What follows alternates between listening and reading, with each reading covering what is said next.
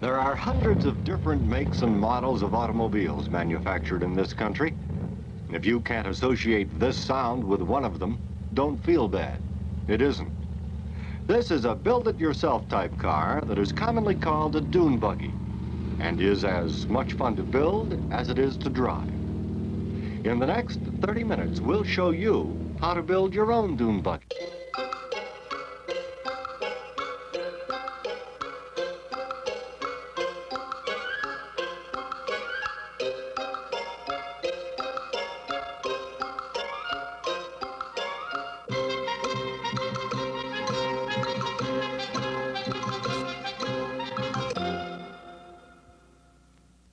Let us assume that you have already gone through the mind-bending exercise of to build or not to build, and in a fit of exuberance decided to forge right in.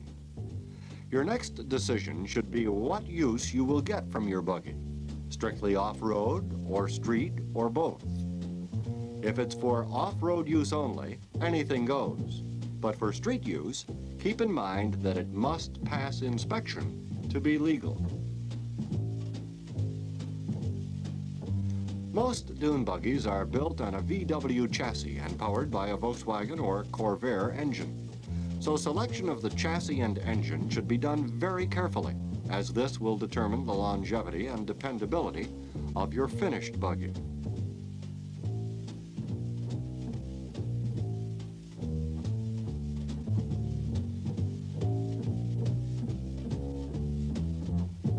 If you already own a VW that you wish to convert, no problem. But if you have to buy one, there are several things to look for. If you decide to buy a wreck, look for front end damage first. If the car has a seriously bent front torsion bar or suspension system, forget it. You'll end up replacing most of the parts at considerable expense. This one was just slightly bent and we were able to straighten it up okay.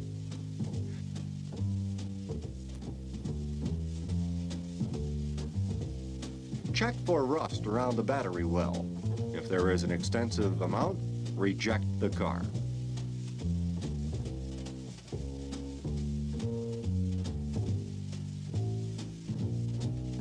Condition of the body is not important as long as the frame and belly pan are relatively free from rust. There's no point in building a dune buggy on a rotten floor pan that will fall through at the tap of a toe. Take a close look at the engine. If it is reasonably dry and free from oil leaks, it's probably in good shape. Try to get the engine running, or if that's not possible, call the original owner and ask him about the condition of the car. Chances are he'll be happy to tell you all you need to know. Weigh the pros and cons carefully before you decide.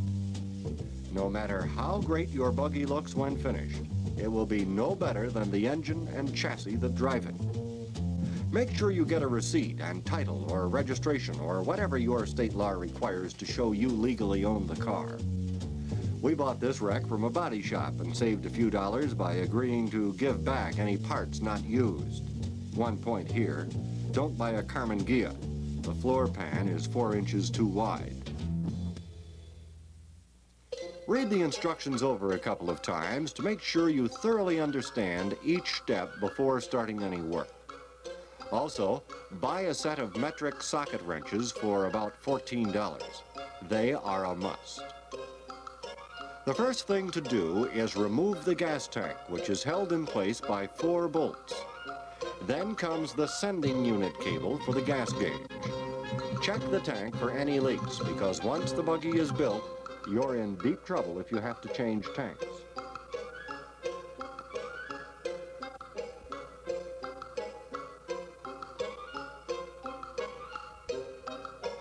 With the gas tank out of the way, you can start disconnecting the steering column.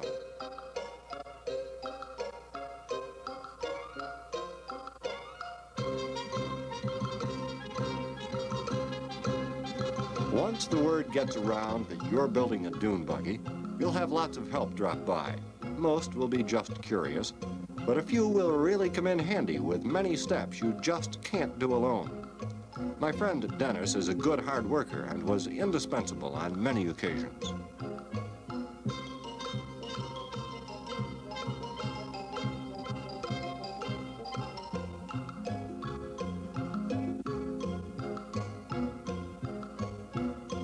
While I loosened the steering column, Dennis removed the support bracket under the dash.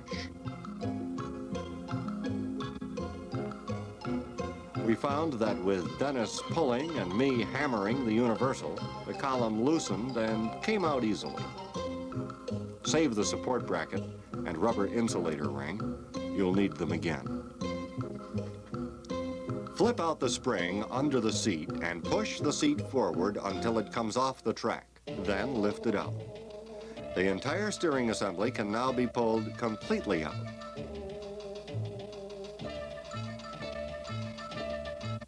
With the back seat out, you will discover the first of about 25 body bolts that hold body and chassis together.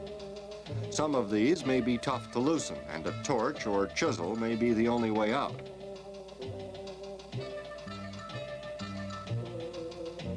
Periodically, or better yet, before you start each step, read over the instructions again, making sure no doubts or questions remain before you start.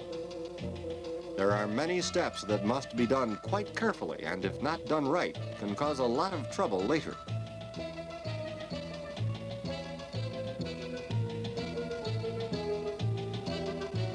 You'll be happy to know that all you have to do to the engine is remove four wires.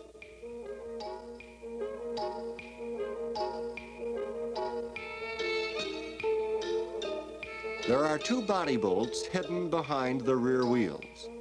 To get at these, take off the wheel and scrape away the mud and dirt that may have collected over the years.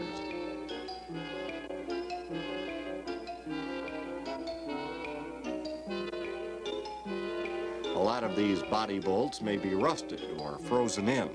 Some penetrating oil will be a help on most of these. Don't worry about stripped threads.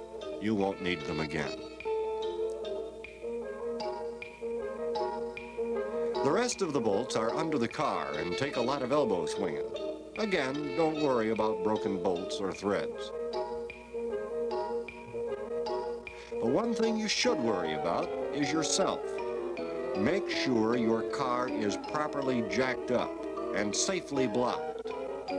When that last body bolt gives way, the car will sag and scare the heck out of you. You're now ready to lift off the VW body but double check your instructions to make sure everything has been disconnected.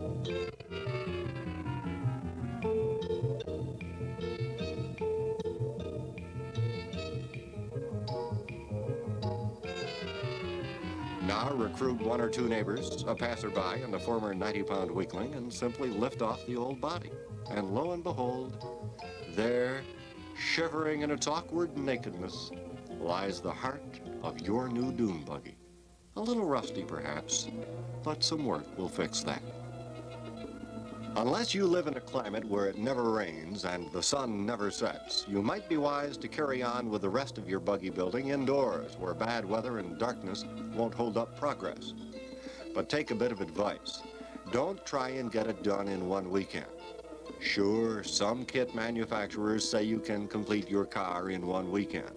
But if you take your time and finish each step to perfection, the end result will show much finer workmanship than the shabby weekend special. The Volkswagen chassis must be shortened by removing a 14-inch section from behind the front seats, and then welding the two sections back together to form one solid chassis. Now, unless you're an expert welder, it's best to have a pro do the tricky stuff, but there is a lot of preparatory steps to be taken first. There are several cables running through the tunnel you are about to chop up, so it's best to pull them out now. Start by removing the pedal assembly, which is held in place by two bolts.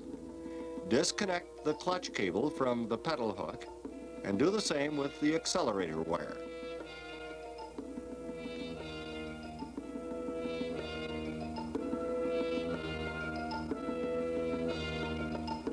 Pair of vice grips to the other end of the clutch cable, then twist the wing nut off. Once this is done, pull the cable out through the front by the pedal assembly. Some cables come easier than others. If it gives you a hard time, cut it. It has to be shortened anyway. Also, remove the emergency handbrake cables. Take off the shift linkage cover and unhook the shift rod. Don't lose any small parts. You'll need them again.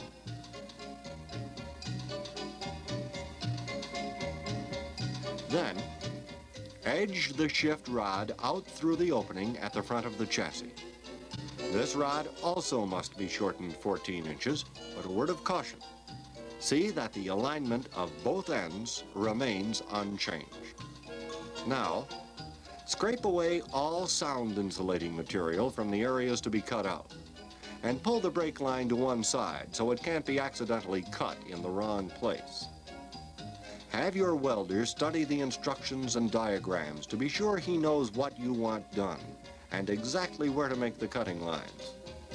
If you're going to do the cutting and welding yourself, be careful. You can't afford a mistake here. Some states are not yet used to the dune buggy explosion and have no faith in your ability as a welder. New Jersey, for example, insists that a certified industrial welder do the work and give you a certificate of work completed that you must produce to the registration people before they will give you your plates. It's best to check all legal aspects in your area in advance. Before you start to cut, block up the car on both sides of the cutting area. If you don't, it may fall on your foot, and that smarts. If you have a choice between an air chisel and a torch, use the air chisel. It will mean a little more exercise, but makes a better cut and leaves no burrs.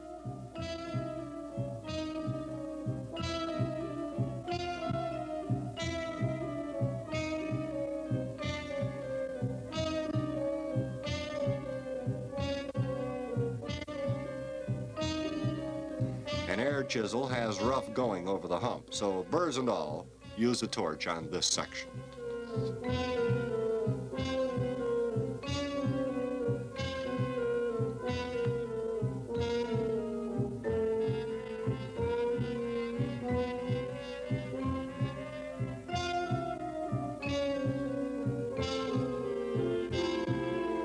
This part of the cutting very carefully as there are several tubes running through the tunnel that you don't want to cut just yet.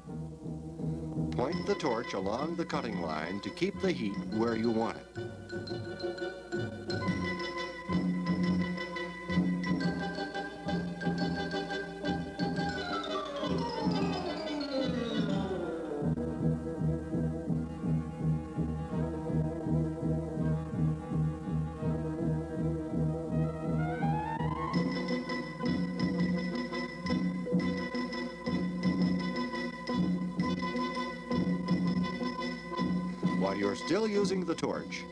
Enlarge the shift linkage access hole. This will help you pull cables through later.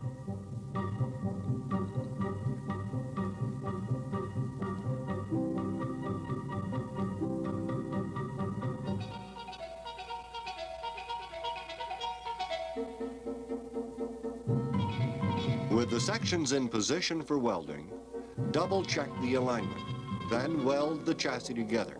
And remember the bottom of the tunnel.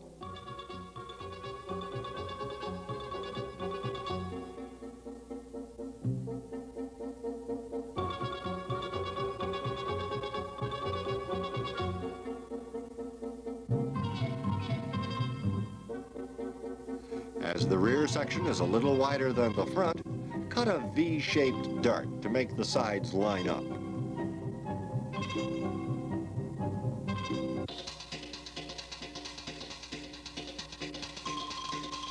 It doesn't make sense to put a nice new fiberglass body on a rusty old chassis, so get rid of all that rust. An electric drill with a wire brush attachment does wonders.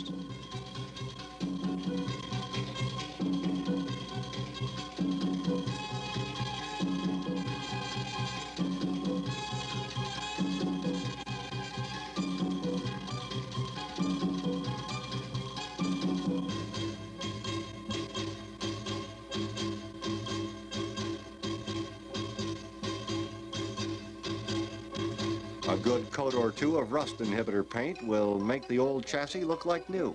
And as an added attraction, undercoat the entire chassis and you'll have a car that is virtually rust-proof. And provided you don't bend it against your friendly neighborhood bridge abutment, will last you a lifetime.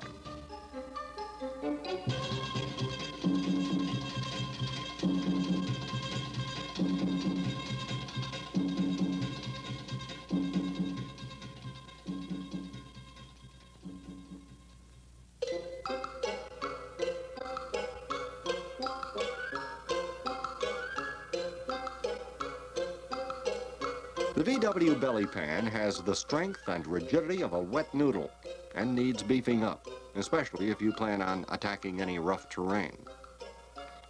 A subframe is available with this kit and comes in formed sections that you simply weld together.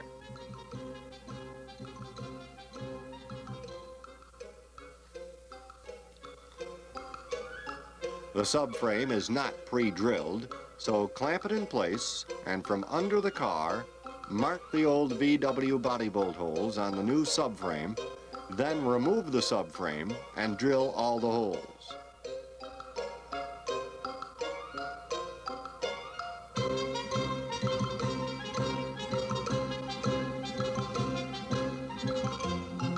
Then put the subframe back on the chassis and check to see that everything lines up.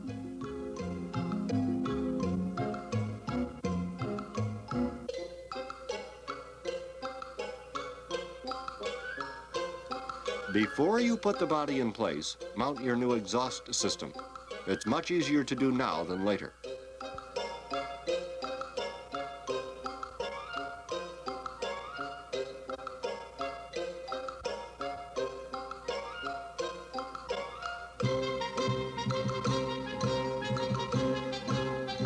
Better looking already, isn't it? With your holes already drilled through the subframe, it's a simple matter to use those holes as guides and from under the car, drill up through the fiberglass body. Drop in the bolts and you're more than halfway home. The choice of taillights is yours, but if you salvage the ones from the VW body, just paint them the right color and they'll do fine.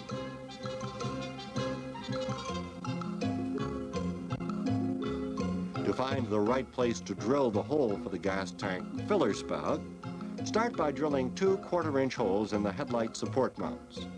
And get some quarter-inch threaded rod and two large eye bolts and mount them on the headlight supports.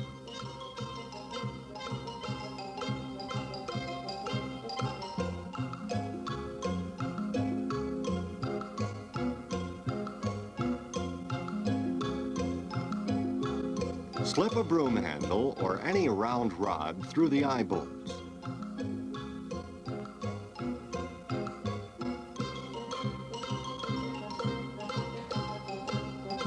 Place the gas tank into position and you will notice that the quarter inch rods line up with the center of the filler spout just at the level where the hood will rest.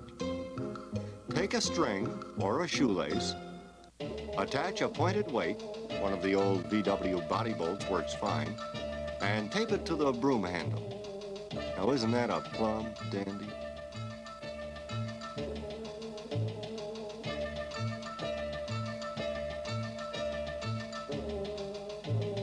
Once you have bent, twisted, or in any way mutilated the plumb to hang over the center of the filler spout, remove the gas tank without jarring the plumb rods. With much tender, loving care and a lot of easy does-its, put the hood in place. Be careful not to scratch any paint, and make certain the hood is correctly positioned and level. If you goof this bit, it shows.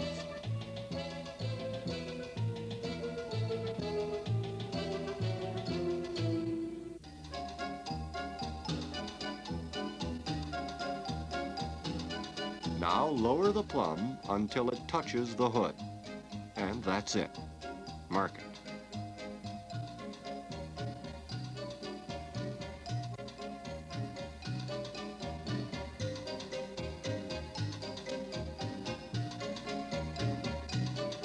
You can cut this hole any way you wish. but the best results come by using a hole saw attachment on your electric drill.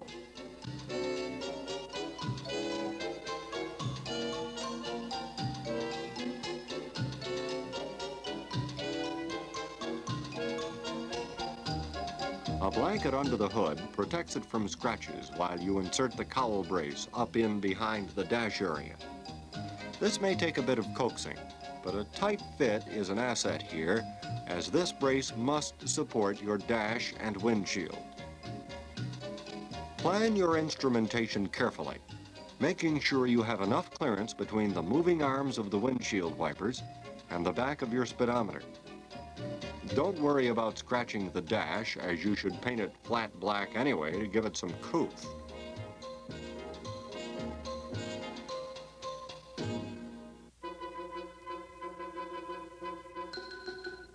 With the gas tank back in its cubbyhole and the cowl brace attached to the hood, you may find you need 87 arms to manipulate the hood into place on the body. But after all, what are friends for?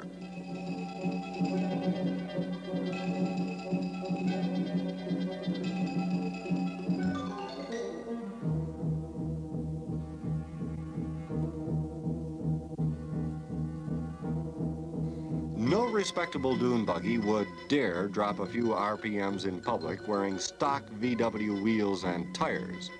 And most American wheels don't fit the Volkswagen hub, so an adapter is needed. A smart set of chrome wheels dressed in the latest in rubber wearing apparel, designed for the type of driving you have in mind, will put you right at the head of the in crowd.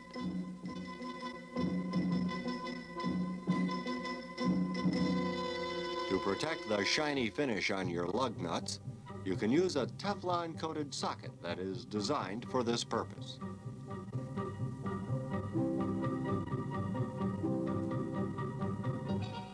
It's surprising how many people don't tighten lug nuts properly. Always do them in star fashion, as Dennis is doing here. Don't over-tighten, as you may strip threads and lose the wheel later.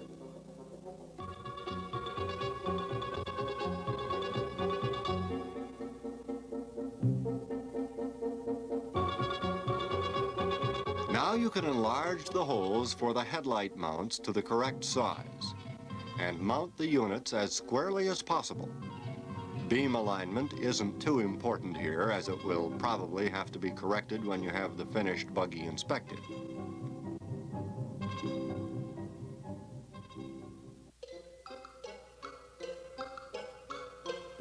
If economy is the rule of thumb, you can do your bit for inflation and use the VW steering wheel. But don't mingle with the big buggies. They'll all have the Woody wheels. It is quite permissible to use the wiring from the old VW. It is also quite permissible to cuddle up to a hostile octopus. Neither is considered a lot of fun, and the AMA reports that people who do suffer a great deal from heat rash. The cure is to order the optional custom-made wiring harness that comes complete with fuse block and instructions. You still may suffer a few cramps, and when nagging backache sets in, remember it's easier this way, friend. My doctor told me so.